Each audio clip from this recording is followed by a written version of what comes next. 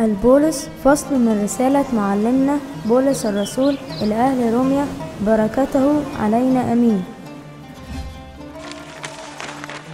لأن غضب الله معلن من السماء على جميع فجور الناس وإسمهم الذين يحجزون الحق بالإسم إذ معرفة الله ظاهرة فيهم لأن الله أظهرها لهم.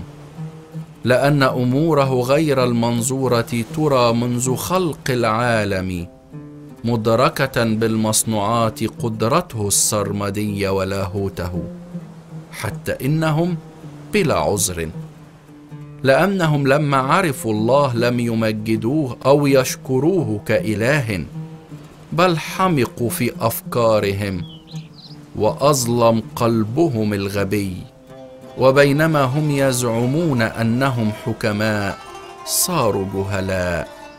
وابدلوا مجد الله الذي لا يفنى بشبه صورة الإنسان الذي يفنى والطيور والدواب والزحافات. لذلك أسلمهم الله أيضا في شهوات قلوبهم إلى النجاسة لإهانة أجسادهم بين ذواتهم. الذين استبدلوا حق الله بالكذب واتقوا وعبدوا المخلوق دون الخالق الذي هو مبارك إلى الأبد. آمين.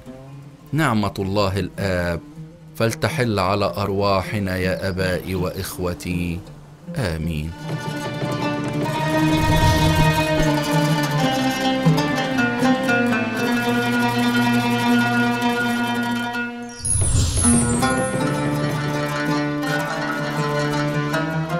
الكاثوليكون فصل من رسالة معلمنا يهوذا الرسول بركته علينا أمين.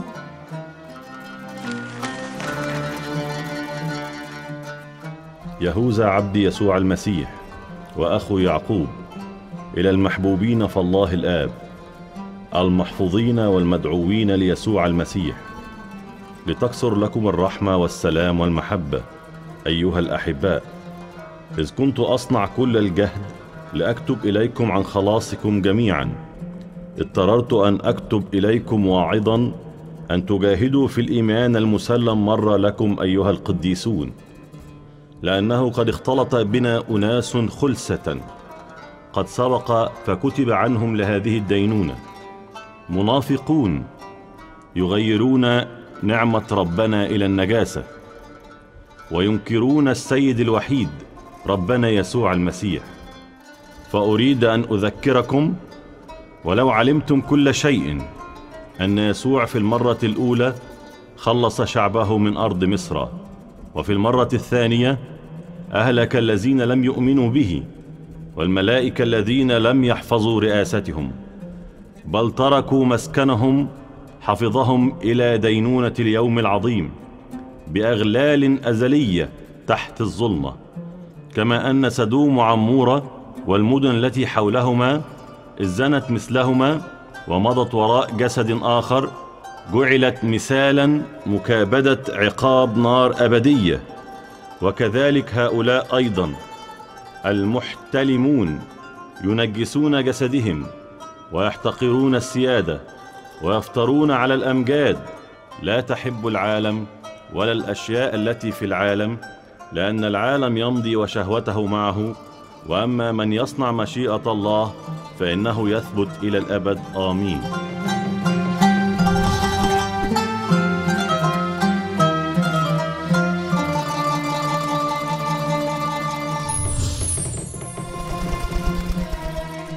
الإبراكسيس فصل من أعمال آبائنا الرسل الأطهار المشمولين بنعمة الروح القدس بركاتهم المقدسة فلتكن معنا. أمين.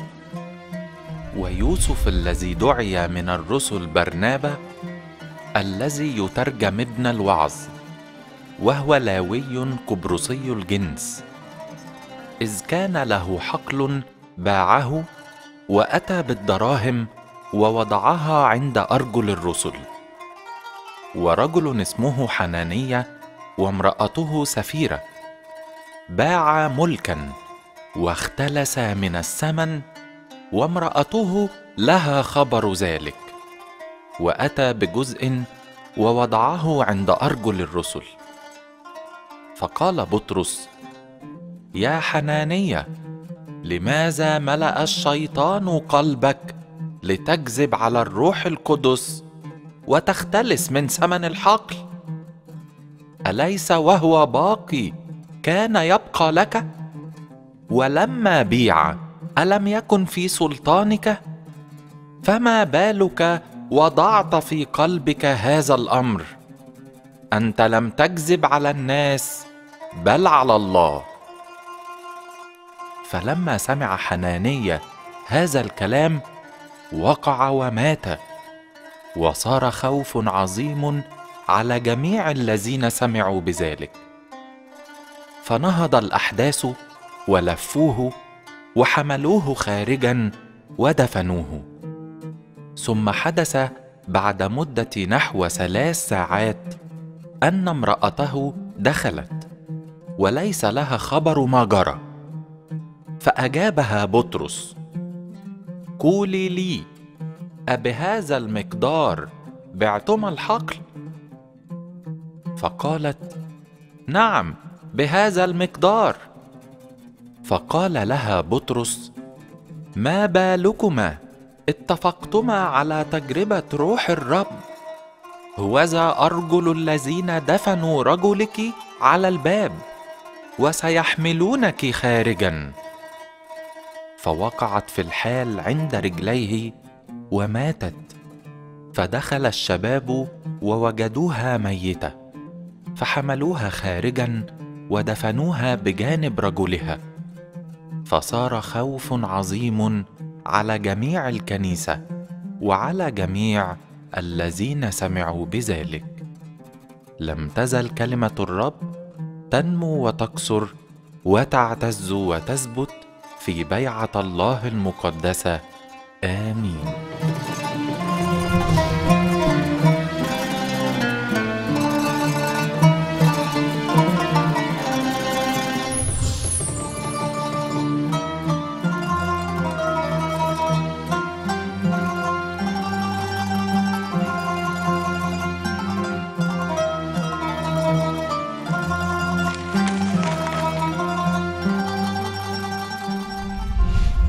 النهاردة يا حبايبي ست برمهات. أحسن الرب استقباله ويعيده علينا وعليكم ونحن في هدوء واطمئنان مغفور الخطايا والآثام من قبل مراحم الرب. آمين. زي النهاردة استشهد القديس ديوسقورس اتولد في الإسكندرية من أبوين مسيحيين وكان ليه أخت في الفيوم إيمانها قوي بالسيد المسيح وتعيش حياة كنسية بسيرة روحانية عميقة. لكن أخوها إيمانه ضعيف علشان كده لما حصل اضطهاد قاسي من العرب على المسيحيين هو أنكر إيمانه وما قدرش يقاوم الاضطهاد ويثبت على إيمانه. أخته سمعت بإنه ترك الإيمان فحزنت جدا وبعتت له رسالة من الفيوم بتقول كنت أحب أسمع خبر ثباتك على الإيمان وانتقالك أفضل من تركك للسيد المسيح إلهك. اتأثر جدا برسالة أخته وبكى بدموع التوبة وعمل رسم علامة الصليب على وشه وقام ومشي في شوارع المدينة علشان يعلن رجوعه للإيمان المسيحي. الناس مسكوه وسلموه للوالي وسألوا إيه اللي أنت رسمه على وشك ده؟ جاوبه قدسنا وقال دي علامة صليب رب يسوع المسيح. أنا مولود مسيحي وأموت مسيحي. ومش هعرف غير رب يسوع المسيح مخلصي. اتغاظ الوالي وأمر بضربه بشدة وحبسه. لكن يا حبايبي ربنا كان بيقويه ويعزيه. ولما الوالي لقى إنه مش قادر عليه أمر بحرقه خارج المدينة فنال إكليل الشهادة. بركة صلواته تكون معانا. آمين. وكمان زي النهاردة تنيح القديس ساودوتوس المعترف أسقف كورنثوس اللي هي في جزيرة قبرص وملقب بالمعترف لأنه اعترف بالإيمان وتعذب على يد الوالي يوليوس وسجنه ولم يستشهد. لكن في عهد الإمبراطور قسطنطين خرجه من السجن ولما أكمل جهاده تنيح بسلام بركة صلواته فلتكن معنا ولربنا المجد الدائم إلى الأبد آمين.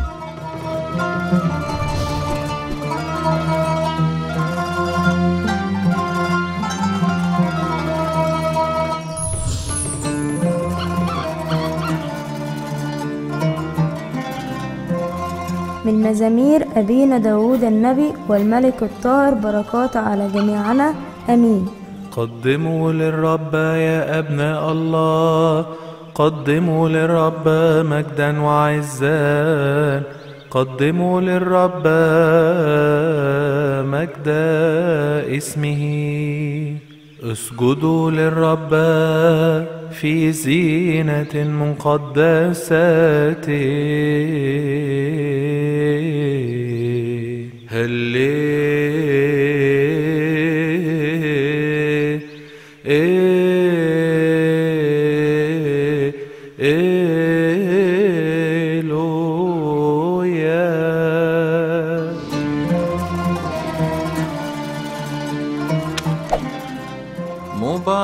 مبارك هو الآتي باسم الرب.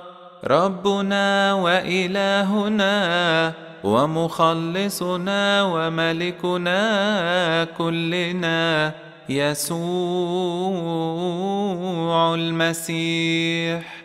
ابن الله الحي الذي له المجد الدائم. إلى الأبد. آمين. وقال لهم أيضا مثلا في أنه ينبغي أن يصلى كل حين ولا يمل قائلا. كان في مدينة قاد لا يخاف الله ولا يهاب إنسانا. وكان في تلك المدينة أرملة وكانت تأتي إليه قائلة أنصفني من خصمي. وكان لا يشاء إلى زمان. ولكن بعد ذلك قال في نفسه وإن كنت لا أخاف الله ولا أهاب إنسانا فإني لأجل أن هذه الأرملة تزعجني أنصفها لئلا تأتي دائما فتقمعني وقال الرب اسمعوا ما يقول قاضي الظلم أفلا ينصف الله مختاريه الصارخين إليه نهارا وليلا وهو متمهل عليهم. أقول لكم إنه ينصفهم سريعا ولكن متى جاء ابن الإنسان؟ لعله يجد الإيمان على الأرض.